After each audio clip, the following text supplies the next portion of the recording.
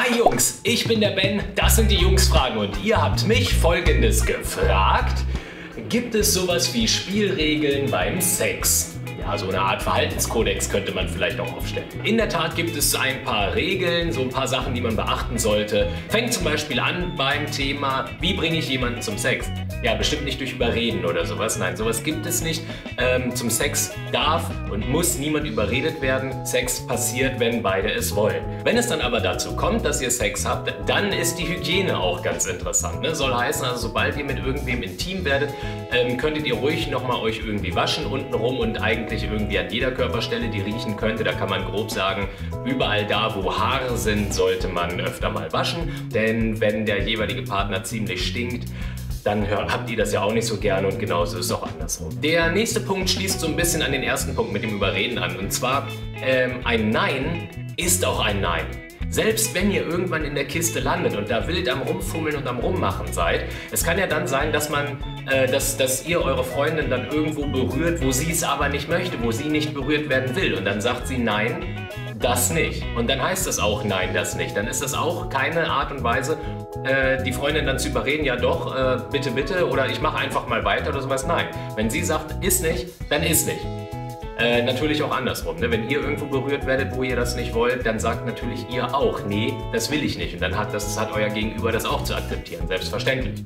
Was auch wichtig ist, achtet auf eure Körpersprache, auf eure eigene Körpersprache und auf die Körpersprache eurer Freundin oder eures Freundes.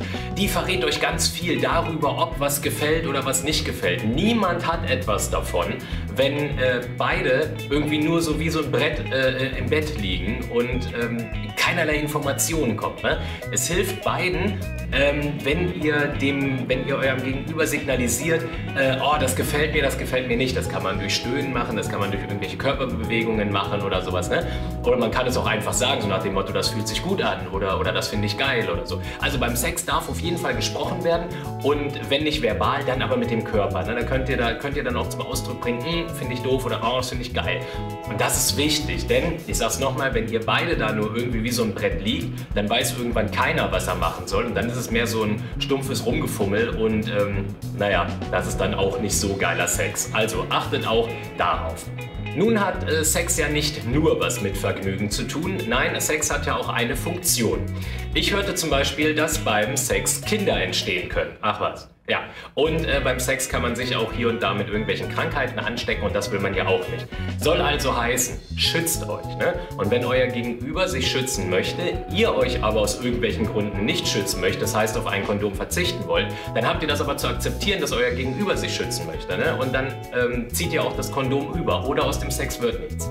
Genauso kann man auch hier das ganze Ding wieder umdrehen, wenn ihr euch schützen wollt. Das heißt, wenn ihr, sagen, wenn ihr sagt, ich will aber ein Kondom benutzen beim Sex äh, und euer Gegenüber sagt, ah, nee, Kondome sind doch voll doof und so, dann liegt es an euch zu sagen, okay, dann verzichten wir aufs Kondom oder aber, viel bessere Art, äh, dann zu sagen, gut, dann wird das mit dem Sex nichts, beziehungsweise gut, dann fummeln wir nur so, aber ich schiebe meinen Penis nicht in dich hinein. Wenn irgendeiner sich schützen will, dann hat das der jeweils andere natürlich auch zu akzeptieren oder aber man muss dann auch die Eier in der Hose sagen, äh, haben und sagen, gut, wenn ohne Kondom, dann machen wir aber hier nur irgendwie ähm, ein bisschen Fummelei und vielleicht ein bisschen Oralsex. Mehr passiert dann aber nicht. Nach dem Sex hat man ja ziemlich viel vom jeweils anderen Körper erfahren. Ne? Das sind aber so Sachen, die bleiben bei euch. Damit geht man danach nicht hausieren. Soll heißen, man geht danach nicht raus und erzählt all seinen Freunden, boah, die Alte, die hat das und das gemacht und die hat hier voll den Fleck und, und hier hat sie so einen Pickel und sowas. Ne?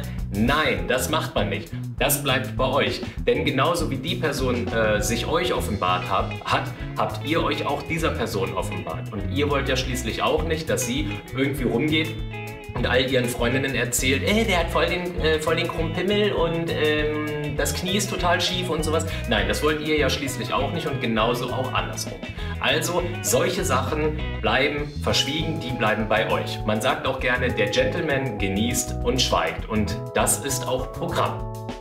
Im Großen und Ganzen bedeutet das jetzt unterm Strich also, respektiert einander.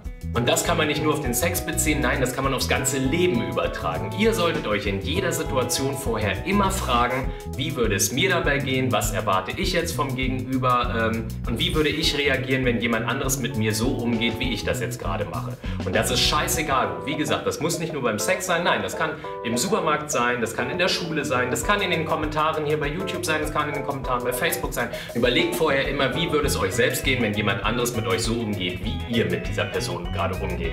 Und von daher äh, beende ich dieses Video jetzt einfach ganz schnell. Like doch das Video, abonniere die Jungs Fragen. Bis bald. Tschüss.